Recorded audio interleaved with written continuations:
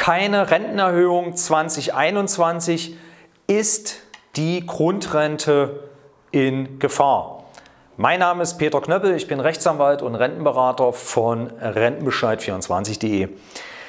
Ein Satz mit X könnte man sagen oder es war wohl nichts. Der Bundesarbeitsminister Hubertus Heil hat am 18.03.2020 via Pressemitteilung ganz offiziell bekannt gegeben, dass Millionen Rentnerinnen und Rentner aus dem Westen keine Rentenerhöhung bekommen werden.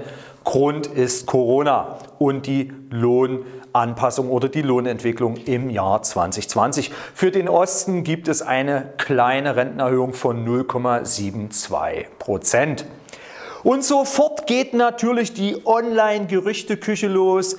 Eines dieser super Ammenmärchen bekomme ich jetzt keine Grundrente, weil ich als westdeutscher Rentner keine Rentenerhöhung im Jahr 2021 bekomme.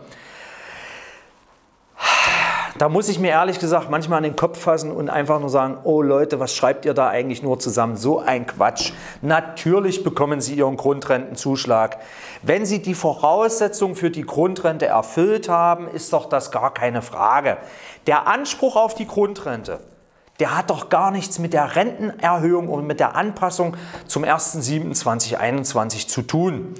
Die westdeutschen Grundrentenberechtigten bekommen den Zuschlag, wenn er ihnen zusteht aber sie bekommen keine Rentenerhöhung auf den Grundrentenzuschlag der ja an sich 2021, also die Rentenerhöhung 2021, wenn es da eine geben würde, würde sich das natürlich dann auch positiv auf den Grundrentenzuschlag auswirken.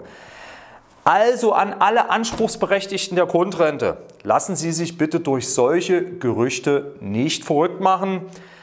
Der Anspruch auf die Grundrente hat nichts, aber auch gar nichts mit der Rentenanpassung 2021 zu tun. Näheres zu diesem Thema finden Sie auf www.rentenbescheid24.de. Ich wünsche Ihnen wie immer eine rentenstarke Woche. Ihr Rechtsanwalt und Rentenberater Peter Knöppel.